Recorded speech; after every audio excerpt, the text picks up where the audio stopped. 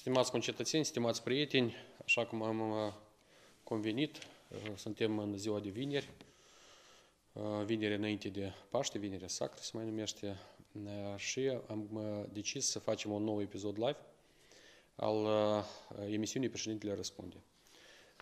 Ne-am propus ca și de această dată să răspundem la unele întrebări din partea mass mediei și avem 8 surse mass media care au venit cu câte o întrebare și o să răspundem, după care vă încurajez să veniți și cu întrebări în direct din uh, partea celor care ne privesc acum online. Uh, deci începem cu întrebările din partea mass media. ProTV, ce veți face în noaptea învierii? Cum și unde veți sfinți bucatele de Paști și cum veți lua focul haric? Uh, noi am spus public deja și vreau să repet încă o dată, că recomandarea din partea, recomandările din partea autorităților sunt ca uh, să nu creăm careva impedimente pentru slujbele de Paști, dar recomandarea este ca slujbele să fie fără enoriaș. Atât în interiorul bisericii, cât și în curtea bisericii, pentru a preîntâmpina riscurile de îmbolnăvire a enoriașilor care vin la slujbă. Uh, în ceea ce ține de focul haric, uh, probabil deja toți cunosc, că noi am luat decizia și am găsit modalitatea ca focul Haric să fie adus și în acest an din statul Israel la Chișinău. El va fi adus cel mai probabil mâine seara la orele 19-19.30 la aeroport. Uh, am decis ca să nu fie acele riscuri sau acea îmbunzeală care este în fiecare an în fața catedralei, cel mai probabil va fi adus la aeroport, acolo împreună cu mitropolitul uh, vom întâmpina acest foc haric și în continuare, câțiva zeci de reprezentanți ai episcopiilor, la distanța respectivă, li se va transmite acest foc pentru a fi transportat în toate centrele raionale din Republica Moldova. Și mai departe din centrele raionale se va transmite în lăcașurile sfinte din toate localitățile. Eu personal, pentru că întrebarea este cum veți lua focul haric, evident că îl voi lua atunci când voi fi la aeroport.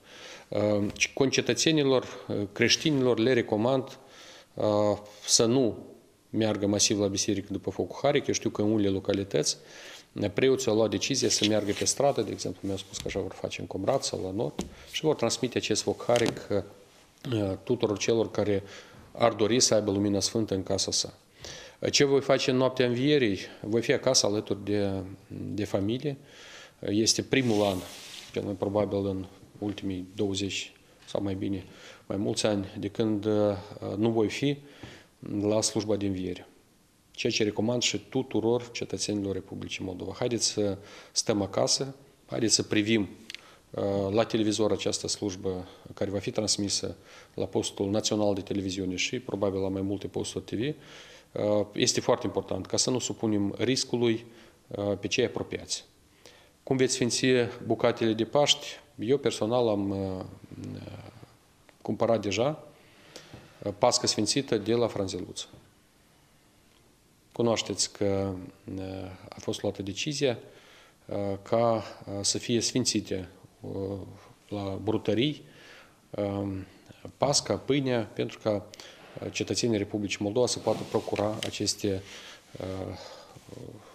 lucruri sfinte care de obicei se mergea la, la la biserică. De aceea recomand tuturor din Chișinău să nu meargă masiv pentru a nu crea probleme legate de, de răspândirea acestui virus. Știu că în unele localități rurale, în mai multe sate și orașe mici, preoții vor merge pe străzi și vor sfinți pasca, ouăle ce mai este acolo la poarta enoreașilor care vor dori să aibă bucate sfințite pe masă. Prime TV, ce mesaj aveți către cetățenii care vor insista să meargă la biserici în noaptea învierii și dacă este corect să fie amendați preoții în a căror biserici se vor aduna enoreaș la slujba de Paște?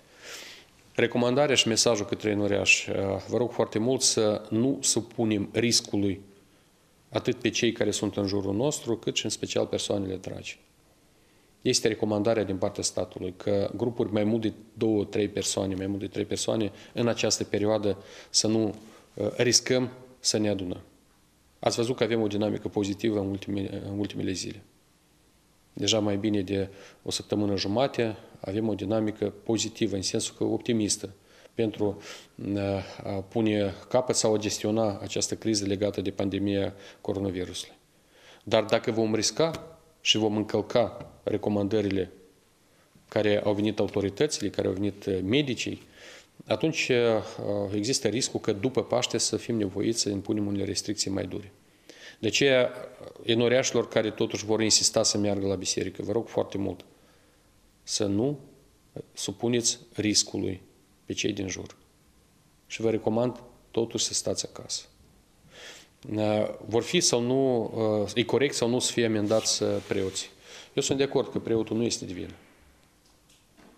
Preotul nu poate interzice oamenilor să intre în biserică. Noi vom acorda suportul necesar prin intermediul polițiștilor de sector, celor din uh, localități, pentru a preîntâmpina ca să nu fie riscurile respective. Dar sunt absolut de acord cu dumneavoastră că probabil nu este vina preotului și n-ar fi cazul noi acum masiv uh, să-i uh, să amendăm. Pentru că noi nu am interzis slujbele, noi nu am închis bisericile și consider că am procedat corect într-o țară creștină unde peste 96% sunt creștini ortodoxi, dar preotul când duce slujba în biserică și a intrat cineva, care vine preotului. De aceea sunt de acord că preoții nu trebuie să fie amendați, dar în același timp autoritățile, poliția trebuie să asigure ca totuși să nu avem uh, masiv oameni care vin la biserică. Și recomandare încă o dată, slujbele fără enuriaj. Unimedia, când vor fi totuși examenele de bacalaureat și cum? Admiterea la universități va suferi modificări.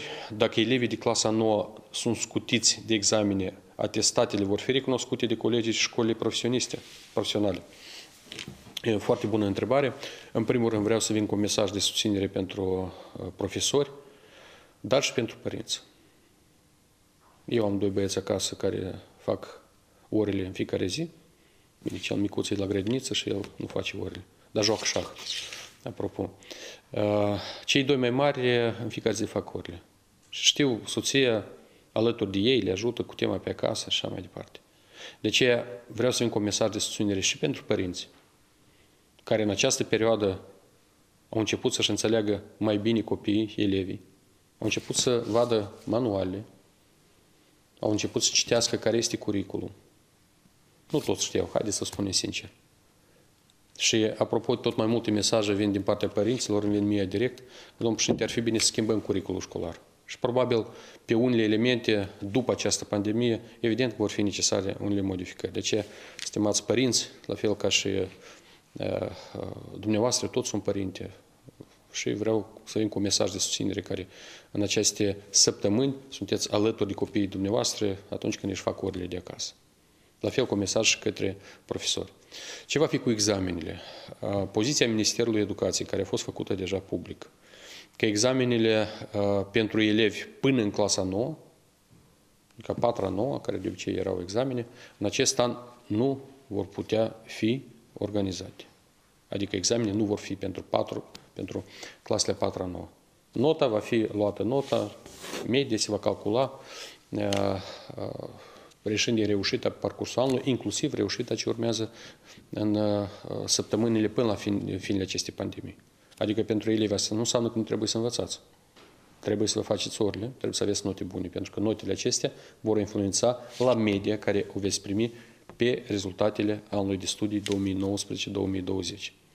Am, de, am discutat cu colegii de la guvern și uh, atestatele pentru clasa nouă vor fi recunoscute de colegii și școlile profesionale. Aici este o decizie a guvernului, în acest sens este convenit deja că chiar dacă nu sunt examene pentru clasa 9, va fi acea medie și vor fi rezultatele pe anul de studii, uh, totuși colegiile și școlile profesionale vor admite, vor accepta această abordare. În ceea ce ține de bacalaureat, uh, nu a fost luată o decizie privind amânarea sau anularea bacalaureatului. Și vă spun de ce. Pentru că bacalaureatul este necesar pentru cei care vor să meargă la studii în instituțiile superioare de învățământ în afara țării. Nu știm că mai mulți uh, copii, elevi din Republica Moldova, liceiști, merg la studii în România. Și acolo vor fi nevoiți să prezinte rezultatele, datele bacului. Deci, dacă noi am anula, am interzice sau am amâna uh, total uh, bacalaureatul pentru anul 2020, 20, atunci am putea să punem în pericol um, posibilitatea de a merge mai departe în instituțiile superioare de învățământ din afara țării.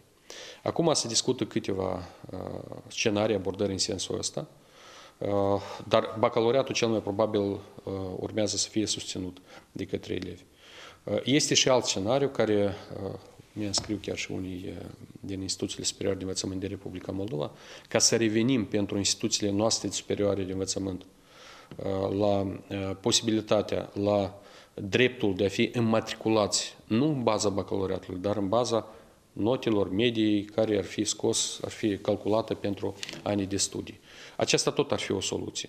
Dar decizia finală încă nu, nu a fost luată, adică soluția care ar fi? Să fie două posibilități. Cei care doresc să meargă în afara țării să susțină bacul, cei care ar dori să-și continue studiile în instituțiile superioare de învățământ din Republica Moldova să aibă alternativa de a nu susține bacul. Însă, încă o dată, o astfel de decizie, până la urmă, nu a fost încă luată.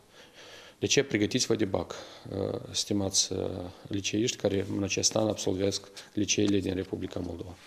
Акцент ТВ.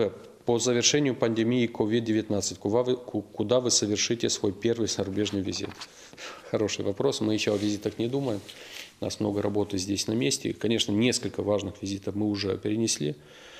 Хочу напомнить, что еще несколько недель назад должен был состояться мой э, официальный государственный визит в э, Китай – у меня был запланирован э, визит в Российскую Федерацию для того, чтобы принять участие в Параде Победы, который, кстати, в России вчера было решение, что его э, будут проводить позже. Его не отменили, но перенесли. Так же, как мы это сделали в Молдове, я видел очень много э, вопросов, правильно мы сделали или неправильно. Давайте скажем честно, что даже если эта ситуация, чрезвычайная ситуация закончится – в ближайшие недели. В любом случае ограничение и запрет на проведение массовых мероприятий в Молдове будет еще несколько месяцев. Так же, как во всем мире. Потому что риск второй вспышки или второй волны, третьей волны будет сохраняться. Поэтому э, мы решили в Молдове, что рисковать не надо. Поэтому все, что касается 1 мая, мы с 2012 года, я и партия социалистов каждый год проводили э, марш, э, первомайский марш по Кишиневу. Мы в этом году, конечно, мы его не проведем. Эм, то, что касается 9 мая, мы в Молдове, ну, это не касается конкретно этого вопроса, но что вы знали, мы решили провести все мероприятия, кроме парада, где очень много людей. То есть, что мы проведем 9, что мы сделаем, или какие мероприятия будут 9 мая. Все, что касается э, э, ремонта мемориалов, памятников, продолжается практически во всех или очень многих населенных пунктах мы приняли решение со следующей недели каждого ветерана э, Великой Отечественной войны мы посетим на дому вместе с нашими активистами. Кроме того, я считаю, что 9 мая руководство, высшее руководство страны обязательно должно, э, так же как было и в прошлых годах, быть на мемориале в центре Кишнева для официального возложения цветов. Все, что касается Марша Победы э, и концерта, праздничного концерта, то мы предложили, предложили перенести в Молдове эти мероприятия на 24 августа. Это э, годовщина Ясо-Кишиневской операции и считается днем освобождения Молдовы, днем освобождения Кишинева. Поэтому, э, если мы говорим о зарубежных визитах, вот то, что было запланировано, да, был запланирован в апреле еще мой официальный визит в Сербию. Э, мой друг президент Сербии меня пригласил господин Вучич. Но, конечно, эти визиты не состоялись. Поэтому то, что касается зарубежных визитов, я думаю, что мы пока рано сейчас говорить о каких визитах будет. Главное, чтобы мы держали дальше ситуацию под контролем в Молдове. Все закончится, а потом посмотрим, исходя из необходимости, исходя из того, что будет наиболее срочным. Ну, срочным, конечно, это и Китай, это и Россия, это и Европейский Союз. Посмотрим, что будет с Ассамблеей ООН в этом году в Нью-Йорке, в Соединенных Штатах, которое должно быть в, во второй половине сентября. Следующий вопрос. Adiverul Ro. Amnesty International Moldova comunicat că autoritățile din Turcia intenționează să elibereze din închisori circa 100.000 de cetățeni în contextul răspândirii COVID-19. Organizația consideră că președintele Igor Dodon ar trebui să profite de această situație și să solicite Turciei și eliberarea profesorilor turci expulzați anterior din Republica Moldova. Deci face acest lucru, mai ales că aveți relații bune cu Recep Erdogan. Dar, într-adevăr, cu domnul Erdogan noi avem relații foarte bune, am avut o discuție telefonică chiar săptămâna trecută. Pe această cale vreau să mulțumesc Guvernului uh, Republicii uh, Turce pentru decizia luată recent de a acorda suport în această situație dificilă cu echipamente medicale. Știm că și în Turcia situația nu este deloc simplă deloc simplu. Dar în această situație au luat decizia să vină cu ajutor pentru Republica Moldova. În ceea ce ține de pe cine eliberează și cum, eu cred că aceasta este, sunt treburile interne a oricărui stat. Evident că noi ne-am dorit și acest lucru l-am discutat și la ultima întrevedere cu domnul Erdogan. Ne-am dorit că unii dintre cei care au fost expozați din țară și au familie în Republica Moldova, că trebuie să fie o atitudine mai blândă dar deciziile finale le ia uh, conducerea fiecărei țări. Agora, Domnule președinte, anterior declarați că sistemul medical e pregătit să facă față epidemiei COVID-19. Avem suficiente cadre medicale, echipamente medicale, locuri în spitale. Din 10 aprilie, însă, unii pacienți sunt lăsați să se trateze acasă, fiind consultați de medici de familie prin telefon. Cum explică această decizie uh, declarațiile dumneavoastră anterioare. Să înțelegem că nu suntem chiar atât de pregătiți și dotați. În, în alte state se mai aplică o astfel de metodă să fie stabilită diagnoza de infecție COVID-19 la telefon. Stimați reprezentanți mass media, reconfirm că în Republica Moldova suntem pregătiți și la capitolul locuri în spitale și la capitolul echipament cu tot ceea ce este necesar pentru a gestiona această situație. Mai mult ca atât, Știți că echipamente vor veni chiar și în timp apropiat suplimentar din Republica Populară Chineză. Probabil mâine seara sau mâine noaptea spre duminică eu voi merge la aeroport, dar vom preîntâmpina presa și va fi această informație publică. De ce unii sunt tratați la domiciliu? Și este sau nu astfel de practică în alte țări? Tot ceea ce face, fac colegii noștri din domeniul sănătății o fac strict conform recomandărilor Organizației Mondiale a Sănătății. Deci, într-adevăr, cei cu formă mai ușoară, în mai multe țări, mai multe țări, începând cu oricare țară, inclusiv Germania, uh, care, apropo, are uh, cele mai bune rezultate, conform statisticilor, în lupta cu COVID, uh, pacienții cu formă ușoară sunt tratați în condiții de domiciliu. Aceasta nu înseamnă că nu sunt locuri în spital. Locuri în spital sunt. Dar vreau să vă aduc aminte că în spital, în mare parte, sunt cei cu forme grave. Mai multe detalii cred că pot veni colegii de la Ministerul uh, uh, Sănătății. În TV Moldova, domnule președinte, ce sumă totală a fost cheltuită până în prezent pentru tratarea bolnavilor de coronavirus? Uh, stimați reprezentanți mass media, la această etapă nu o să vă spun nimeni exact ce sumă a fost cheltuită total. De ce? Pentru că este o anumită cheltuieli pe pacient tratat, care se achită din fondurile de, de asistență obligatorie medicală, este, acesta este un capitol uh, de cheltuieli. Și știți că eu am făcut uh, calcul și am făcut public pentru cazurile simple peste 2000 de lei pe zi, pentru cei mai complicați de la 5000 de lei în sus. Uh, asta este un articol de cheltuieli. Un alt articol de cheltuieli este testarea masivă. masivă. Că noi, de exemplu, ieri am testat 600 de persoane, dar cu COVID au fost peste 100. Dar cheltuielile sunt pentru 600. Deci asta este alt capitol de cheltuieli. Al treilea, dotarea cu echipamente statul a transferat bani pentru procurarea testelor, cele 100 de mii de teste din Republica Populară Chineză. De ce? Pentru a face un total pe toate capitolele, eu cred că colegii de la Ministerul Finanțelor vor veni cu astfel o astfel de informație, dar acum să vă spun că e vorba de 100 de milioane sau 200, cred că uh, nu va fi corect. Eu pot doar să vă spun că astăzi, uh, peste 50 de minute, va avea loc ședința Guvernului, unde va fi uh, aprobat uh, proiectul bugetului la orele 11. Să uite colegii la ceas, la orele 11. Va fi aprobat proiectul bugetului, rectificării bugetului pentru anul 2020, reșind din uh, situația care este acum în Republica Moldova. Vreau să vă spun că veniturile bugetului public național se vor micșora conform calculelor cu 7,5 miliarde de lei, aduceți aminte, în cadrul unei emisiuni v-am spus că PIB-ul era planificat plus 3,7-3,8, Noi acum planificăm minus 3, adică o reducere a produsului intern brut cu peste 6,7%. Va genera 7,5 miliarde de lei la bugetul de stat. Reșind din aceasta se fac uh, unele modificări la cheltuieli, însă vreau să vă informez că peste 1,3 miliarde de lei, conform acestor modificări, vor fi alocate suplimentar pentru domeniul sănătății din Republica Moldova, ceea ce nu, nu era planificat anterior în bugetul pentru anul 2020. Uh, sunt alocate suplimentar mijloace, toate cifrele sunt, eu cred că o să le facă colegii uh, de la Guvern Public, eu nu vreau să vin cu aceste detalii acum, dar sunt toate cifrele uh, unde suplimentar se alocă bani. Se alocă bani în primul rând la sănătate și tot ce este de social, șomaj, susținerea celor care au pierdut locuri de muncă. Al doilea capitol important, suport întreprinderilor, aici și acoperirea dobânzilor bancare. Aici și contribuția la fondul de salarizare, cele 43% și așa mai departe. Și din nou avem peste un miliard și ceva de lei suplimentar din bugetul de stat.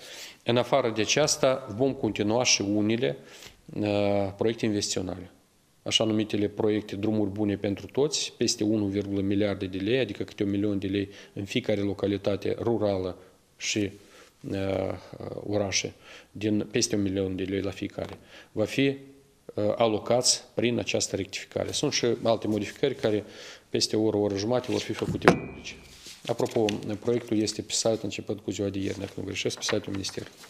Și uh, uh, ultima întrebare, Jurnal TV, domnule președinte, cine minte? Bună întrebare.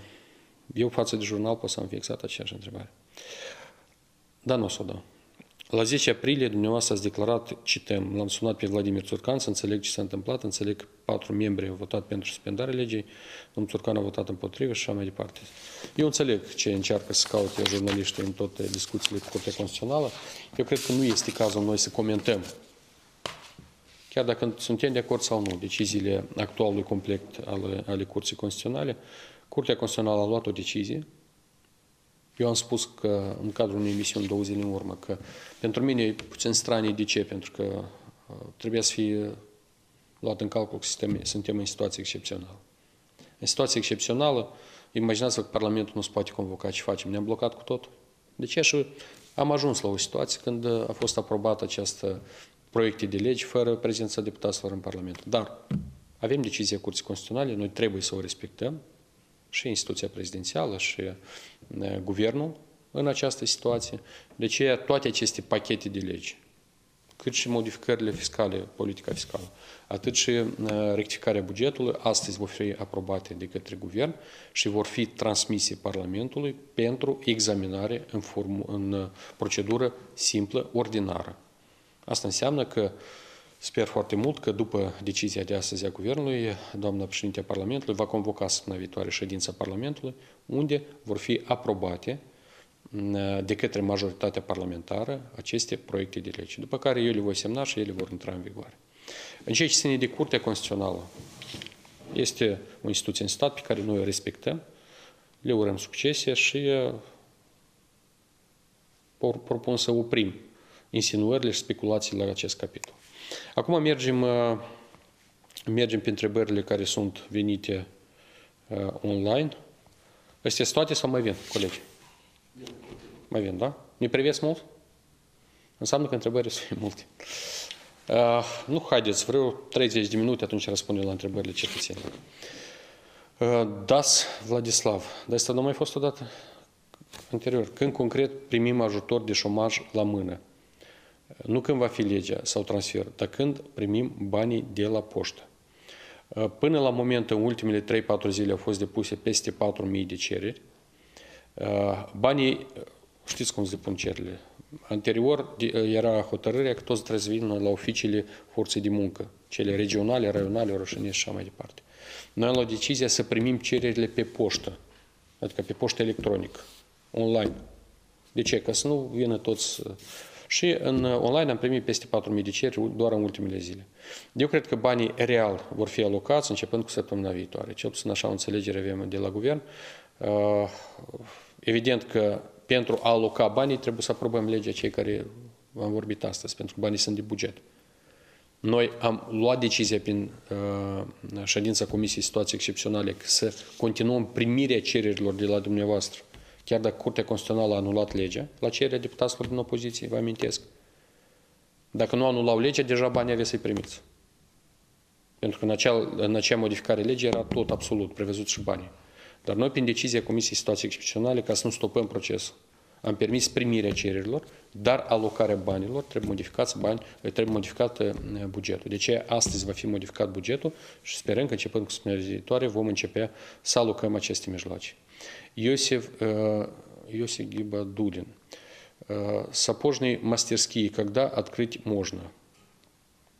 Иосиф, это касается, наверное, здесь есть и другие вопросы по этому поводу. Но я вот объясню немножко, как мы из этой ситуации будем выходить. Ну, вопрос на русском, я объясню на русском. Я думаю, что будет несколько этапов выхода из этой сложной ситуации по борьбе с коронавирусом. Первый этап, если положительная тенденция э, продолжится еще хотя бы до конца следующей недели, то в конце следующей недели я не исключаю, что мы примем решение, чтобы с 26-27 апреля на ряд э, экономических э, агентов, ряд экономических деятельностей будет расслабление. Что это означает? Запреты будут сняты. Я думаю, что это касается как раз и вашего вида деятельности. Это первый этап будет. Второй этап – это то, когда закончится непосредственно чрезвычайная ситуация, которую парламент э, принял э, решение до 15 мая. Третий этап – это, это э, снятие некоторых ограничений для молодежи, имею в виду, может быть, школы, детские сады. И только последний этап – когда мы увидим, что рисков нету, будут сняты ограничения по проведению массовых мероприятий, там, концертов, э, каких-то шествий и так далее. Поэтому, скорее всего, в ближайшие э, несколько дней мы разработаем вот эти этапы выхода из кризиса. Еще раз повторюсь. Первое. Снятие ограничений для некоторых видов деятельности. Вот как раз некоторые услуги, магазины, э, рестораны, кафе и так далее. Э, параллельно, конечно, все вернутся на работу, государственные учреждения и так далее.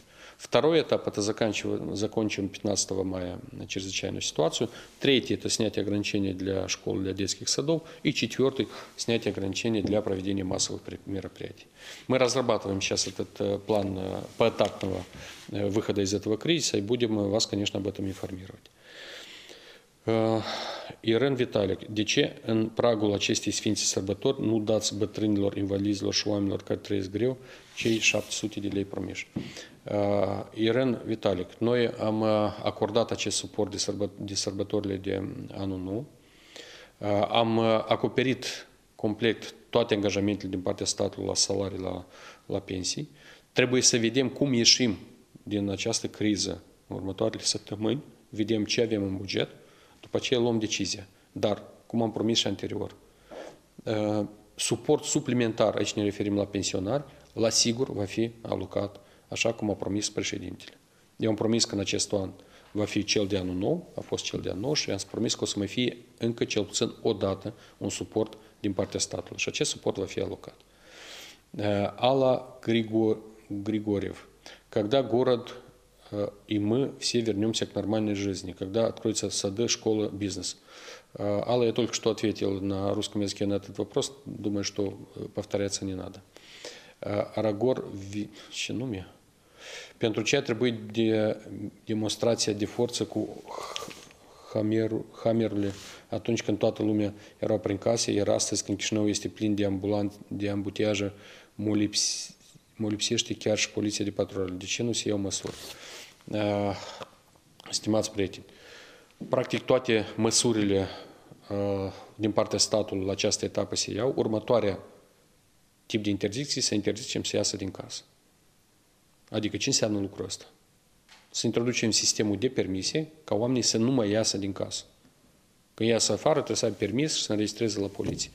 Noi am luat decizia că astfel de decizii mai dure, astfel de restricții mai dure, vor fie la această etapă destul de dificil de gestionat în așa oraș cum este municipiul Chișinău. Avem un milion de oameni aici. Și ținând cont și de dinamica care o avem, dinamică uh, optimistă, am luat decizia că astfel de restricții, interzicere completă de ieșiri din case, sunt în zonele cele mai afectate. Și au astfel de regim avem, de exemplu, un Soroc. Adică acolo unde introducem carantină de plină, introducem și așa restricții. Nici într-o țară din uh, Europa, cel puțin, restricții de tipul ăsta nu au fost introduse pe toată țara. Au fost introduse pe zonele de carantină dură. Uitați-vă, în nordul Italiei, de ce se întâmplă în, în Franța, în alte, în alte state. Acolo unde este riscul cel mai mare, acolo au fost puse așa măsuri dure. În ceea ce ține de, de soldații și tehnica de la Ministerul Apărării, ea acum este concentrată în mare parte anume în aceste zone de carantină sporită. Vă amintesc că avem 5 localități care sunt în carantină la această etapă. Сергей Черных, какой план на штрафы, чтобы закрыть, какой план на штрафы, чтобы закрыть карантин? Ну, я не, не понял вопрос, какой план на штрафы, что вы имеете в виду? Какой план на штрафы? Конечно, те, которые нарушили, должны платить. И закон нужно уважать. Я знаю, что вы видели публичную информацию, что несколько, мне кажется, 20 или сколько миллионов наложили штрафов. Конечно, не, и там есть возможность для того, чтобы обратиться в суд и так далее, но если были нарушены, нарушен закон, то, конечно, эти штрафы нужно заплатить. А иначе как? Какой порядок в государстве? И какой пример – для других, которые соблюдают правила и те решения, которые приняло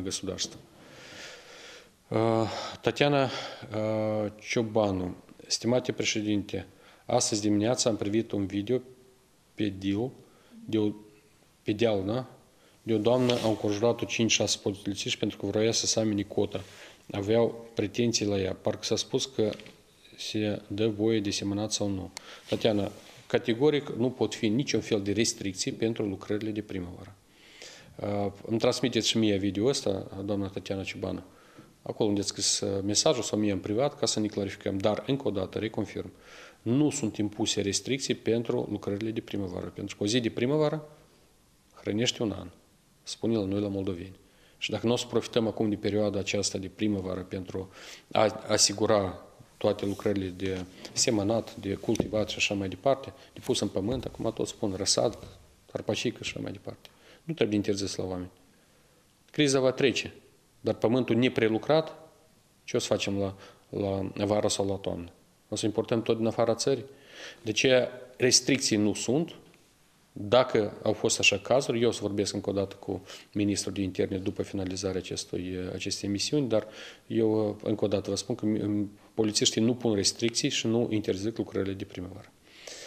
Nadin Savciuc, domnule președinte, dar trebuie deschise înscrierea online la clasele întâi. Când o să fie asta?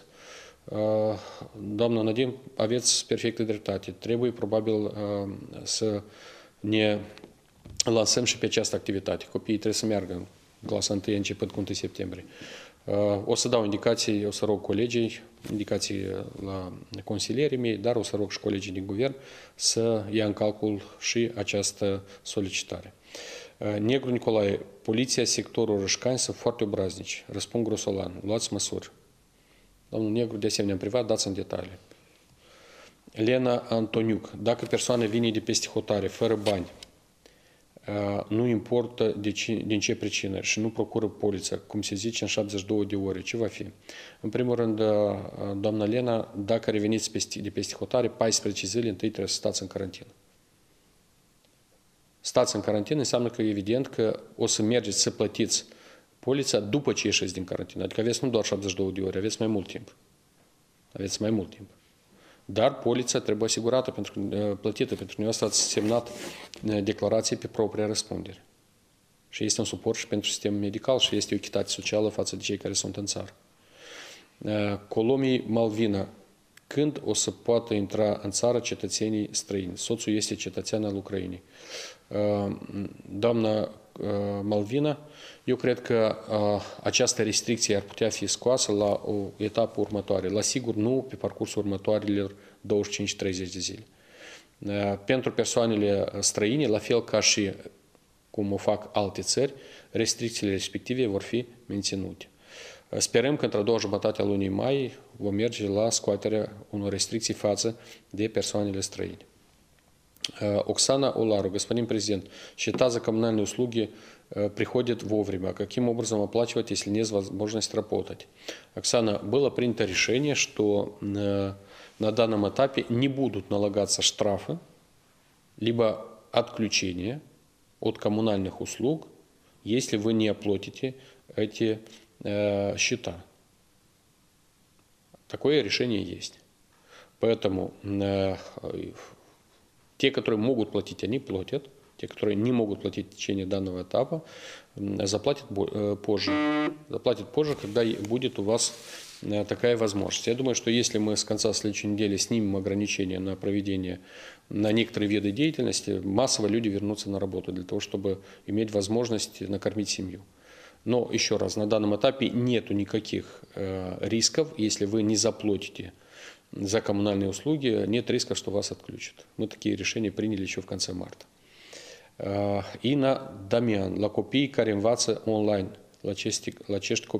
Nu le dați un ajutor?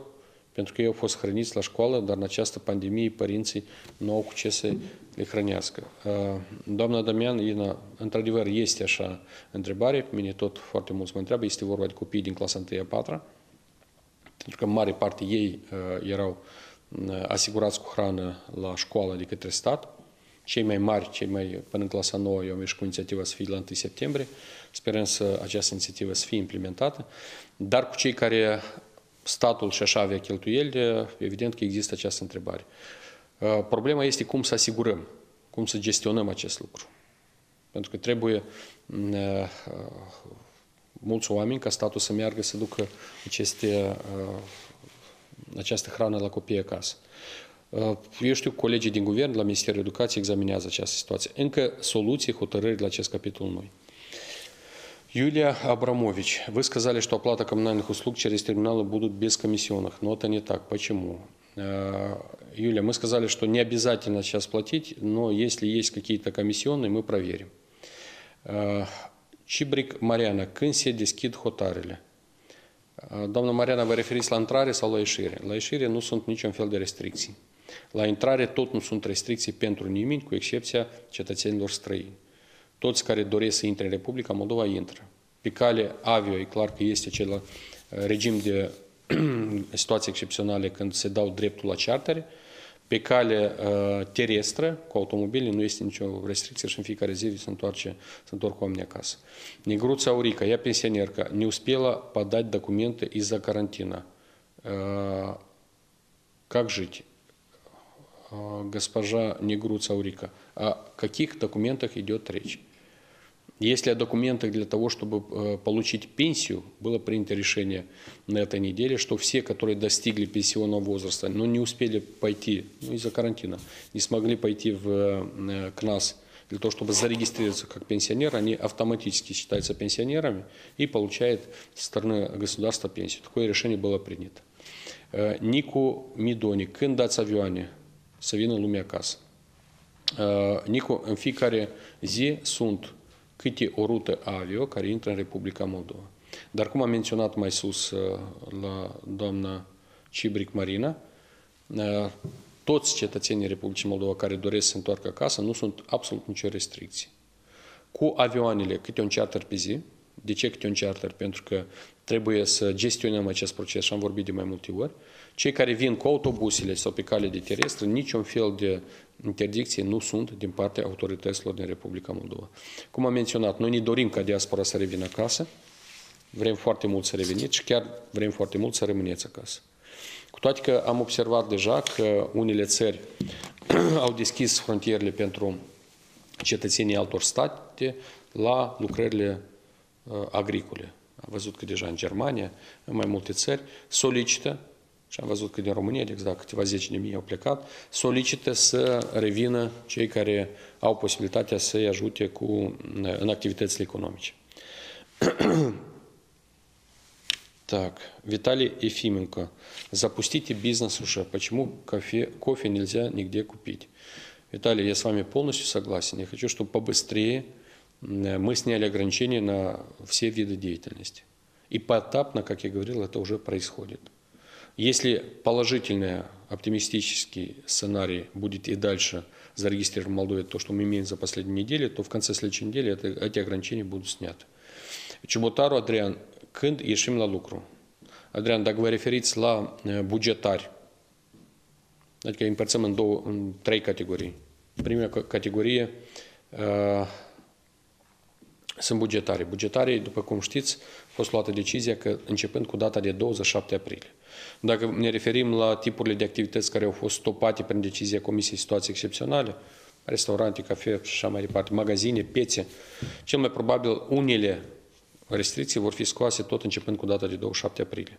Și în funcție de riscul care ține de activitatea agenților economice, vom lua decizia în continuare. De ce, cel mai probabil începând cu 27 aprilie, marea majoritate a cetățenilor Republicii Moldova vor ieși, cum ați scris la lucru. Daniela Gogu, spuneți-mi, vă rog, până acum oamenii în vârstă tot se îmbolnăveau de pneumonie sau răceală mai gravă. Spuneți, vă rog, până acum erau decese din cauza răcelei sau a pneumoniei în Moldova? Daniel, aveți perfectă dreptate, erau zeci și sute.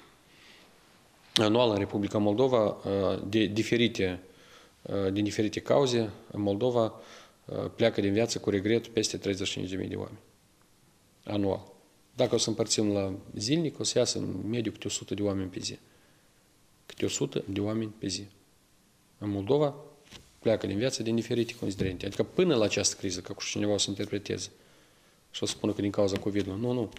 Nu din cauza COVID. Alte boli. Care sunt și, cum spuneți dumneavoastră, și pneumonie, și decese, și așa mai departe. Eu înțeleg la ce, unde adiați, doamna Daniela, cu această întrebare, că care este sensul să punem restricții, dacă și așa oamenii pleacă din viață. Eu nu sunt de acord cu dumneavoastră, pentru că noi trebuie să facem tot posibilul să micșorăm riscurile de îmbolnăvire de COVID. Da, am obținut deja unele rezultate bune în acest sens, avem o dinamică optimistă și urmează să scoatem unele restricții în continuare. Ecaterina Pan, trebuie măcar din iunie de deschis cotarele ca lumea să poată să meargă la mare. Cam что, altfel vom avea o țară de bolnavi psihic din cauza carantinei. Doamna Caterina, sunt de acord parțial cu dumneavoastră că trebuie mai repede să scoatem restricțiile, pentru că lumea să se poată deplasa și important să iasă din casă, să meargă la, la lucru, să meargă la un restaurant, să meargă la o terasă, să meargă în parc, să întâlnească cu colegii și sperăm foarte mult că acest lucru se va întâmpla în timpul apropiat. În ceea ce ține de uh, mers la mare, și asta depinde nu de Republica Moldova. Dumneavoastră nici acum nu aveți interdicții să mergeți la mare. Noi permitem, doriți să urcați în mașină și mergeți, dar problema este de către, din partea altor țări care nu admit intrarea în țara lor a cetățenilor străini. Nu admite nici România, nu admite nici Turcia, nu admite nici Ucraina. Mă refer la unde de obicei mergeți la, mergem la mare moldoveni. Deci aceste restricții sunt impuse nu de Republica Moldova, dar de țările respective. Așa cum am impus și noi restricții pentru cei care străini care vor să intre în țară. Irina Eliseeva, asistentă socială, nu face nimic. Irina, nu aș fi de acord. Eu cred că în această situație toți care activează în prima linie, medici, asistenți sociali, poștașii care au dus pensia la pensionari, toți cu riscuri enorme, își îndeplinesc angajamentele. Evident că ei trebuie să fie mai activi, înțelegem că sunt foarte multe persoane în etate care sunt acasă acum și au nevoie de suport, și probabil aici este mesajul către asistenții sociali. Dar înțelegeți și pe ei. Eu consider că ei se supun riscului, funcționarii de stat, medici, încă o dată spun, polițiștii. Avem zeci de polițiști deja infectați. Avem sute de medici infectați. Cineva dă vina pe medici sau pe autorități. Este o problemă. Este o problemă și această problemă este în toate țările. Unde mai mulți, unde mai puțini. Și e regretabil că așa s-a întâmplat în Republica Moldova. Și vreau să le mulțumesc cu, încă o dată tuturor care stau în prima linie, și medicilor, și polițiștilor, și asistenților sociali, și poștașilor care au mers acum la, la pensionare acasă și le-au dus pensia. Suntem toți împreună, suntem toți împreună în această situație. Și trebuie să facem față. Trebuie să facem față și vom face față și vom gestiona această situație cu pierderi minime. Uh, Nina Malanca, Lăcăușeni, secția de primire în spitalul raional este închisă. Sunteți informați? Doamna Nina o să verific cu doamna ministru în ce se întâmplă la Căușeni, dar în unele localități a fost luată decizia că prioritar spitalele sau secția de internare, cum spuneți aici, se ocupă de COVID. Unele spitale se ocupă în special doar de COVID. A fost la decizia să fie spitale pentru cazurile coronavirus. De ce unele schimbări de regim în aceste localități unde avem cazuri mai multe, evident sunt. Albina Fetescu, veți permite nunțele în iunie-iulie 2020? Albina, viața merge înainte. Avem nunți, avem cumătrii, cu regret avem și decese. De aceea, cum am spus, unele restricții pentru manifestări mai mult de 50 de persoane vor fi menținute în continuare. Aceasta nu înseamnă că nu puteți face notă, dar o să vedem care vor fi aceste restricționări pentru perioada iunie-iulie. Probabil dacă o să fie mai puțin de 50, nu vor fi probleme nici pentru un fel de întruniri. Dar acolo unde e vorba de întruniri mari, riscul doar va, va exista în continuare. Haideți să fim conștienți. Cel mai probabil din sfârșitul aprilie, mai, noi restricțiile, unele restricții le vom scoate. Dar virusul va rămâne în societate. Acest coronavirus va rămâne până când nu o să fie o vaccină găsită. De ce uh, vor fi valuri, vor fi din nou etape de criză și de cum vom gestiona noi autoritățile, dar și de înțelegerea din partea noastră, depinde cum vom trece peste aceste provocări. Și eu cred că și este și interesul dumneavoastră, Albina, ca la nuntă, dacă sunteți mireasă sau nănașă, să nu aveți toată nunta pe urmă îmbolnăviți cu coronavirus. De ce vom vedea? Nunțele nu sunt interzise, dar nu sunt diferite. Sau așa cum se făceau la sat, câte 400, 500 și 5 zile, două zile încolo, două zile încoace și unul pe loc. Sau nu se mai fac și format mai îngust. Deci vom vedea cum va fi dinamica. Dar, repet, unele restricții pentru manifestări în masă, manifestări mai mult de 50 de persoane, vor fi menținute încă câteva luni după ce scoatem stare de urgență. Petrică Cercel, unde sunt banii din Europa? Bună întrebare. Unde sunt banii, Petrică? Noi exact aceeași întrebare avem. În bugetul care va fi aprobat astăzi, rectificarea, vor fi scoși din buget peste un miliard de lei care urmau să vină de la Uniunea Europeană. Este vorba de finanțarea trei etapă, trei tranșă de la suport macrofinanciar și este vorba de câteva proiecte. De ce noi sperăm foarte mult că ceea ce s-a discutat public și să fac tot felul de declarații, totuși va fi un suport și din partea colegilor noștri din Uniunea Europeană. Eu am menționat câteva zile în urmă că la acest capitol avem câteva susțineri clare. Avem susținerea din partea Federației Rusă 200 de milioane de euro, avem susținerea din partea Fondului Monetar Internațional 220-230 de milioane de dolari și în buget rămâne în continuare, bugetul care va fi aprobat astăzi, 30 de milioane de la Uniunea Europeană. Pe aceste 30 de milioane, claritate încă nu avem, pentru că sunt unele condiții care trebuie să le îndeplinim. Alt suport din Uniunea Europeană, care au fost declarații, sperăm să fie luată o decizie finală asupra mecanismului și acești bani sperăm să vină în Republica Moldova. Așa. Здравствуйте, Игорь Николаевич. Меня зовут Евгения Гриб. Мне 61 год. Пенсии у меня нет из-за отсутствия стажа. У меня нет своего жилья, арендую в Шамеди партии. Ши телефон. Asta mi-a transmis altcineva, nu de la dumneavoastră. Евгения, я получил вашу информацию, займемся. Так, Татьяна Горяева, пожалуй, пожалейте людей, отмените штрафы. Татьяна, я вас понимаю.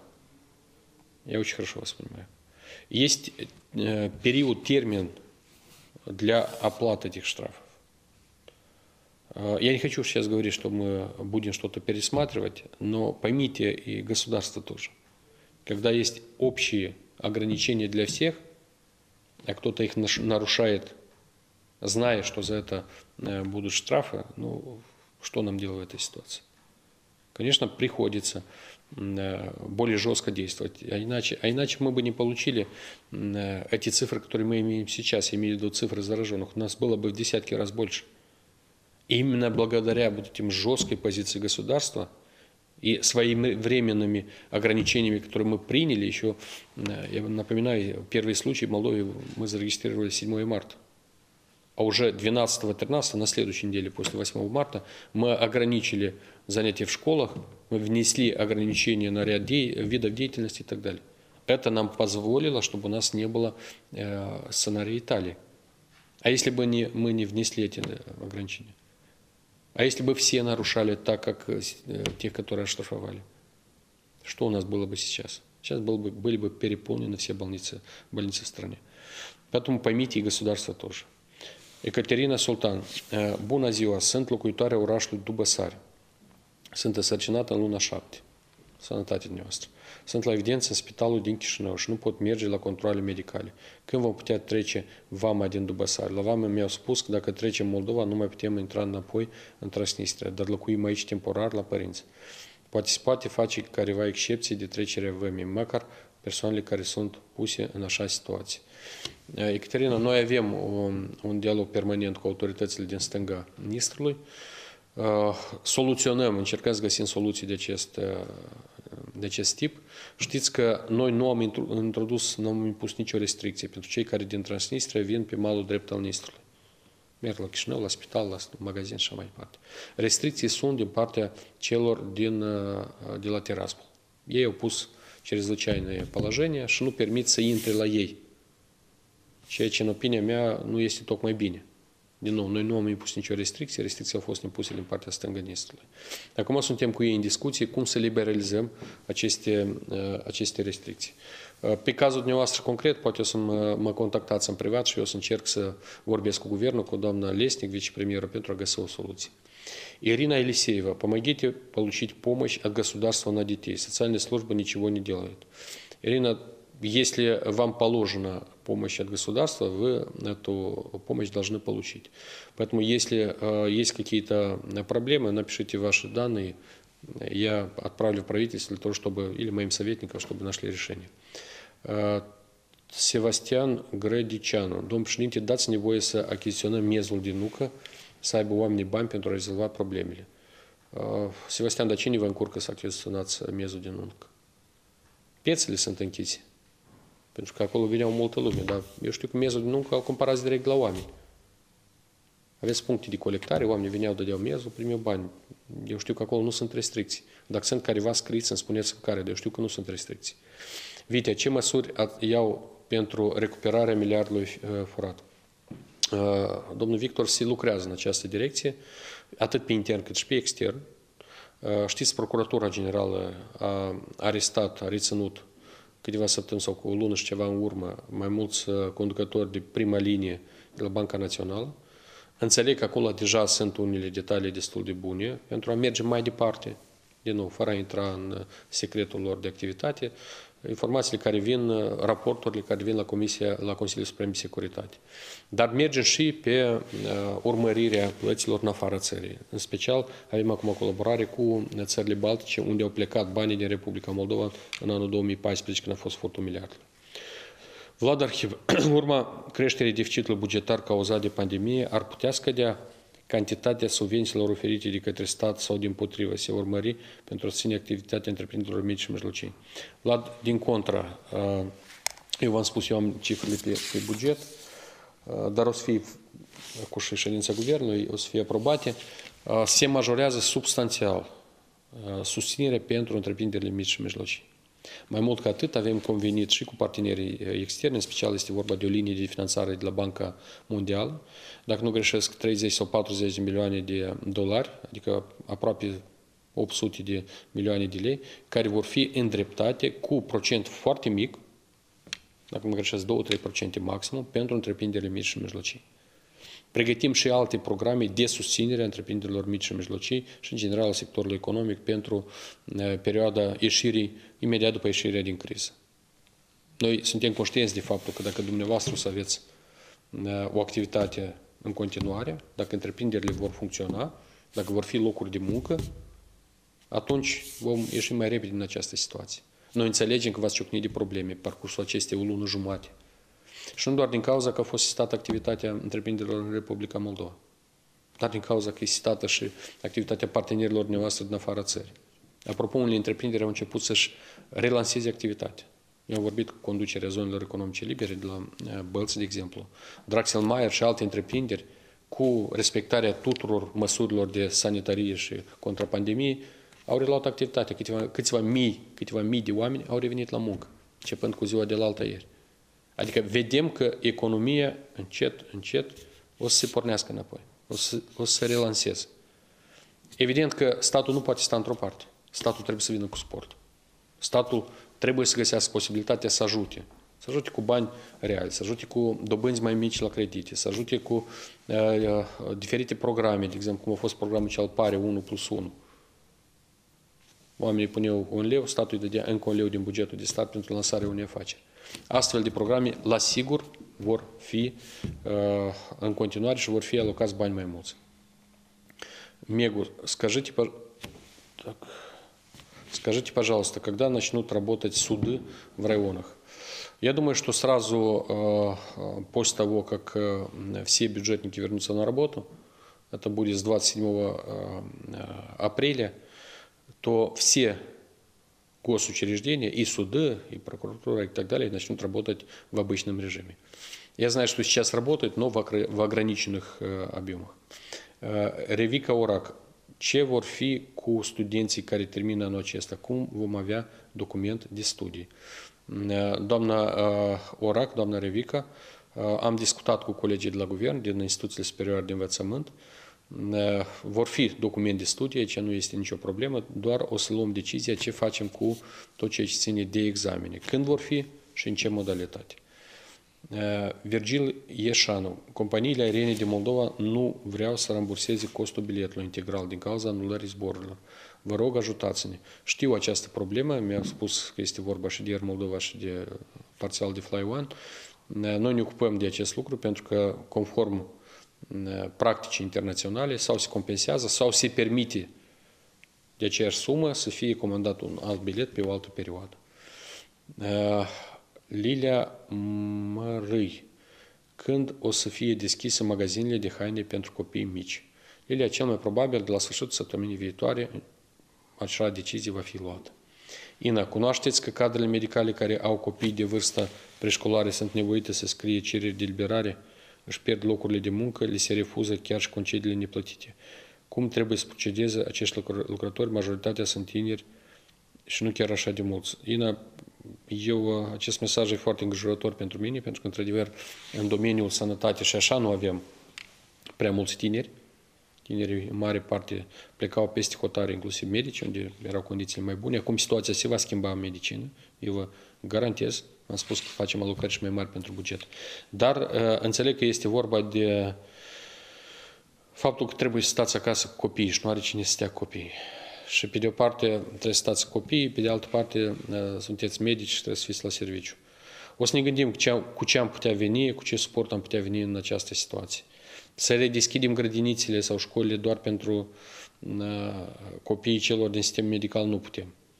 Să acordăm bani ceva suplimentar, poate, ca să găsiți cineva din rude sau cineva care ar putea să stea copii, o să ne gândim. Dar mi-am notat problema, într-adevăr e problemă. Victor Grigora, ajutorul social nu dați, e deja 17 aprilie. Victor, probabil vă referiți la acele 2775 de lei minimum care se dă de la stat. Am răspuns în prima parte a emisiunii la această întrebare. Sperăm că de săptămâna viitoare acești bani vor fi alocați pentru că trebuie modificările în buget care au fost blocate anterior la cererea opoziției de Curtea Constituțională. Osaci Elena, bună ziua, aș dori să întreb de creditele de la prima casă. S-au luat ceva măsuri sau e nevoie de echitat? Doamna Osaci, pe toate creditele a fost luată decizia de prelungire, reeșalonare a plăților. O astfel de informație le obțineți de la banca comercială cu care sunteți în relație pe aceste proiecte de prima casă. Dar o decizie în acest sens a fost luată de reeșalonare atât la persoane juridice cât și la persoane fizice. Apropo, vrem și astăzi va fi la guvern și în proiectul bugetului politicii fiscale să venim cu noi etape ale proiectului Prima Casă, care s-a dovedit un proiect de succes în Republica Moldova.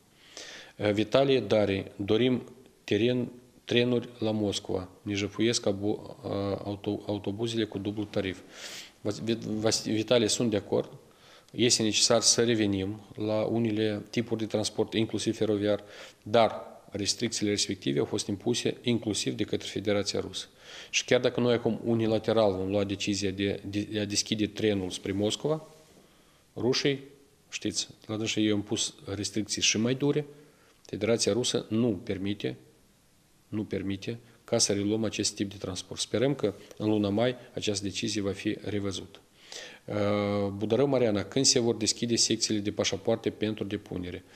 Uh, Doamna Mariana, se poate depus unele acte și online, dar nemijlocit activitatea în uh, măsură deplină va fi reluată, cum am spus, cel mai probabil de pe data de 27 aprilie.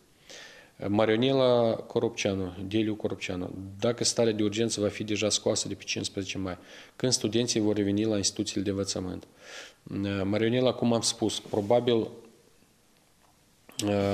probabil pentru elevi, copii și studenți, revenirea la procesul de studii nu va fi odată cu finalizarea stării de urgență pe 15 mai. Posibil să fie puțin mai târziu. O să vedem în funcție de cum va fi evoluția cu cazurile uh, testate și depistate în Republica Moldova. Dacă evoluția va fi optimistă, așa cum este acum, atunci posibil, uh, într-a doua jumătate al lunii mai, să scoatem aceste uh, interziceri, aceste restricții și pentru domeniul de studii. Olga Manic, domnul președinte, tratamentul pentru coronavirus e gratis sau trebuie de achitat? Noi care lucrăm pentru ce atunci ne-au oprit 2000 pentru poliță în fiecare luni. Doamna Olga, tratamentul este gratis pentru toți care au poliță de asigurare medicală sau sunt persoane asigurate. Dumneavoastră, dacă vă opreau 2000 de lei din uh, salariu, probabil nu doar pentru poliță, pentru că aici este probabil și uh, impozitele sociale pentru pensie, evident, dumneavoastră sunteți persoană asigurată și nu trebuie să achitați nimic la spital. Carolina Jăzdan, cum pot fi depuse dosarele pentru indemnizația de creștere copilului? Online nu lucrează platforma CNAS, a trecut o lună de când este activ concediul, iar, dar dosarul nici nu este depus. Când va lucra CNAS, se va recalcula din urmă. Da, Carolina, se va recalcula din urmă. Activitatea CNAS-ului, la fel ca la toate instituțiile bugetare, în măsură deplină, în grafic normal, ordinar, va fi reluată de pe 27 aprilie, sperăm dacă vom avea o situație optimistă. Uh, Lilia Raelian, noi am fost deconectați de la Starnet. Lilia, de la Telecom nu, nu fac publicitate la nimic, ca să înțelegeți. Uh, Telecomul este întreprindere de stat, noi am rugat, și a fost o decizie a Comisiei Situații Excepționale, întreprindere de stat, recomandare să nu deconecteze pe nimeni, indiferent să achitat sau nu. Cei, de, uh, cei din domeniul privat, statul nu le poate impune ar fi bine ca și cei din privat să meargă pe exemplu cum am făcut noi la Moltelecom. Mariana Ghețu. Mai sunt întrebări? Băieți, câteva, da? Mariana Ghețu, ce ține de salarii cadrele didactice? Am dorit tot să revină din diaspora, să activăm acasă. Ce promiteți? Da sau nu? Se poate să avem un salariu decent pentru a exista măcar? Mariana, ce ține de salarii cadrele didactice. Acum, chiar dacă nu avem procesul de studii în școli și chiar când a fost o anumită perioadă de pauză, vacanță, noi am achitat la toți salariile. Eh, să revenim acasă sau nu? Noi ne dorim să reveniți acasă. Și dacă o să faceți un calcul cât primiți acolo peste hotare și o să scoateți toate cheltuielile de întreținere acolo și o să vedeți cât e salariul care puteți să-l primiți în Republica Moldova, în diferite activități. Fie activități în domeniul de stat sau activități private, o să vedeți că salariile nu diferă tare, tare mult. Eu mă, eu mă refer la clasa medie, nu mă refer la cei care lucrează în IT, de exemplu, în uh, Germania, care primesc, sau în medicină, medicii care primesc foarte mult. De vorbesc de cei care lucrează, nu știm unde lucrează marea majoritate a moldovenilor, în uh, unele țări ale Uniunii Europene, sau chiar în aceeași Federație Rusă. Și dacă o să faceți calcul, o să vedeți că în Republica Moldova se poate, deprimi, se poate obține un salariu, o remunerare uh, cam la același nivel cu scoaterea cheltuielilor pe care dumneavoastră le aveți în Italia sau în, uh, în Moscova. De ce și vă îndemnăm să reveniți acasă. Noi vom face investiții în economie pentru ca să fie locuri de muncă. Noi vom fi gata să vă ajutăm pentru a vă lansa o afacere proprie. Dar pentru aceasta vă rugăm, reveniți acasă și haideți împreună să ridicăm economia țării noastre. Noi avem probleme. Noi nu, cu câteva luni în urmă, până la această criză, anul trecut, în Republica Moldova nu erau brațe de muncă. Erau doritori să vină să facă investiții, dar nu erau brațe de muncă. Salariul în zona economică liberă de la Bălți e peste 10.000 de lei. Suplimentar transport și hrana la, la masă. Salariu mediu. Unii primești mai mulți. Dar mai jos de 7-8 mii nu primește nimeni. 400-500 de euro și dacă vă uitați ce primiți în, în Moscova sau în altă țară și o să scoateți toate cheltuielile de întreținere de parte de părinți, de copii. Deci e evident că noi sperăm foarte mult că în urma acestei crize oamenii vor reveni acasă și vom susține. Dimon Cenușă, domnule președinte, cei care au credite în domeniul agriculturii vor fi scutite de penalități sau nu în perioada de pandemie. Uh, domnul Cenuș a fost luată decizia uh, împreună cu colegii din Banca Națională, mesajul a fost dat băncilor comerciale, să reeșaloneze la această etapă și să nu impună penalități sau sancțiuni. Discutați cu Banca Comercială de unde ați luat creditul și faceți trimitere la deciziile uh, Guvernului, președintelui și Băncii Naționale. Ульяна Заболотный, ответьте, пожалуйста, если диаспора придет домой, вы готовы предоставить им рабочие места? Ульяна, я только что ответил на этот вопрос на молдавском языке, но еще раз на русском. Мы очень надеемся, что вы вернетесь домой. Я заверяю, что мы сможем вместе с вами здесь сделать все возможное, чтобы страна развивалась. У нас есть серьезные, серьезные возможности – Э, для того, чтобы здесь найти хорошее рабочее место. И если вы посмотрите, сколько можно заработать сейчас в Молдове по сравнению с тем, что вы получаете там за рубежом, ну, за исключением затрат там, на квартиру, то, что вы платите там и другие затраты, вы увидите, что здесь доход не намного меньше или, может быть, даже больше. Поэтому возвращайтесь домой. Я думаю, что вместе мы найдем возможность для того, чтобы экономика развивалась, и здесь были рабочие места. Mariana Sava, putem face exerciții fizice, gen alergare, bicicleta, 1-2 persoane, cu respectarea tuturor măsurilor de protecție. Mariana nu au fost interzise ieșirile din casă și exercițiile fizice nu au fost interzise. Au fost interzise grupuri mai mult de 3 persoane. Dar la noi nu interzis. Ieși în parc, ieși afară, nu nicio interzicere. Grupuri mai mult de 3 persoane interzise și sunt. Serghei Masterul. Master. Ce o să faceți cu banii din situații excepționale care se grăbândesc? Că toți cred că se grăbândesc tare mulți bani din situații excepționale. În bugetul de stat, în urmă, în ultimele două săptămâni, primele două săptămâni ale lunii aprilie, veniturile au scăzut de două ori. Dacă anterior mediu 3,54 miliarde de lei pe lună, încasările sunt 2 miliarde. Mulți cred și mă întreabă unde sunt banii. De pe extern încă nu au venit niciun leu în bugetul de stat. Suport. Dar cheltuielile noi le avem aceleași. Salarii, pensii și așa mai departe. Am redus maximul ce se poate. Eu din președinție am tăiat 3 milioane jumate. Tot, absolut.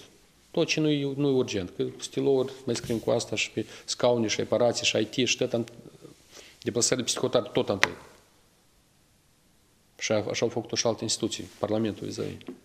Dar ce o să faci cu banii din situații excepționale care se grămădesc? În primul rând, nu se grămădesc bani din situații excepționale, sunt riscuri, sunt cheltuieli suplimentare care nu erau prevăzute. Ceea ce se grămădesc, probabil nu să vă referiți la contul deschis de guvern, cele aproape 20 de milioane de lei, sunt utilizate, și a fost raport din partea guvernului, strict pentru necesitățile luptei cu pandemia și în special pentru susținerea sistemului medical. Gabriel Călin, medicii de la urgență au primit câte 1500 de lei adaus. Aveau salariu de 6000 de lei. Statul a promis că le dă 50% din salariu pentru medicii din asistență primară. Gabriel, din câte cunosc, a fost promis un salariu de bază suplimentar pentru medici. Eu înțeleg că salariul medicului include câteva componente. Salariul de bază, sporul și suplimentar dacă mai activează în alte domenii. Și probabil ă, aici a fost neînțelegerea, că au primit doar salariul de bază. Dar, cum am menționat, noi ă, venim cu suport ă, suplimentar pentru medici și ne gândim și la alte suporturi în afară de acest lucru. Noi trebuie să-i susținem și vom susține pe cei din medicină și nu doar cei, toți cei care luptă în prima linie.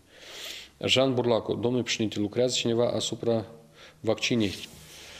Toată lumea lucrează asupra vaccinii. Toate țările caută o vaccină. Pentru că noi înțelegem că vor fi câteva valori în continuare. Și sperăm foarte, foarte mult că această vaccină va fi găsită în timpul apropiat.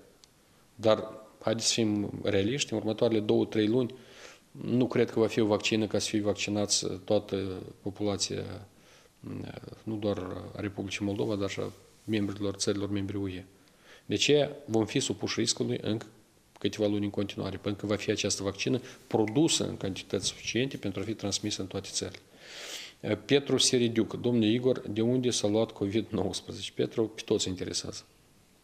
La noi moldovenii sunt foarte cu spirit conspirologic și să gândesc acum cine special, cum și așa mai departe. Eu nu vreau să intru în aceste dezbateri, specialiștii se vor clarifica. Însă, trebuie să fim conștienți că astfel de riscuri, cu regret, în perioadele ulterioare vor mai fi.